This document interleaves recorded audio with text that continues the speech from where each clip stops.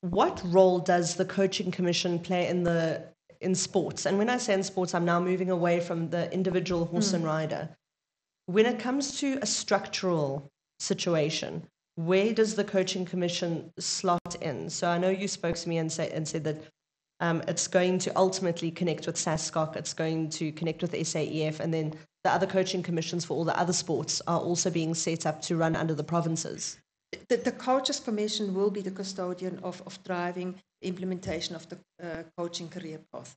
You know, one of our key aspects going forward is that we need to make coaching a recognized That's profession. really great. So that, that our mm. profession is being recognized and, and acknowledged by people because a lot of us coaches coach people that ride in their spare time. It's their hobby. Mm.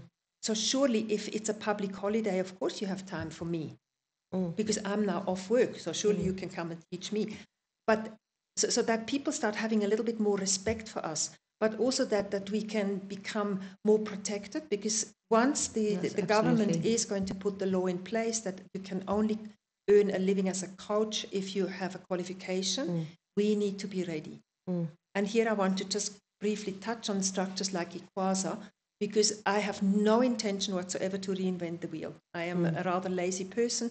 I like using what is there and optimizing what is there. Mm. So I'm trying to go out there and with my together with all my colleagues, we want to form a relationship with all these institutions and use them.